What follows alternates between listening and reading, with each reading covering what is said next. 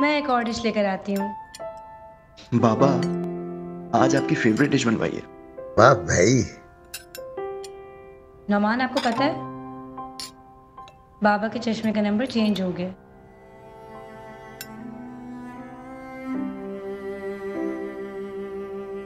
क्या बाबा? आपने मुझे बताया क्यों नहीं?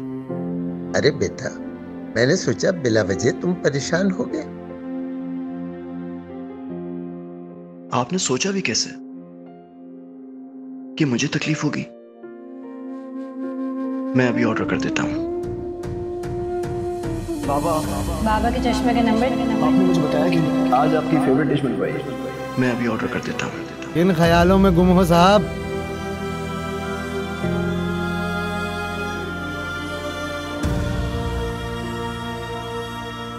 जो माँ बाप ज़िंदगी भर आपका सहारा रहे।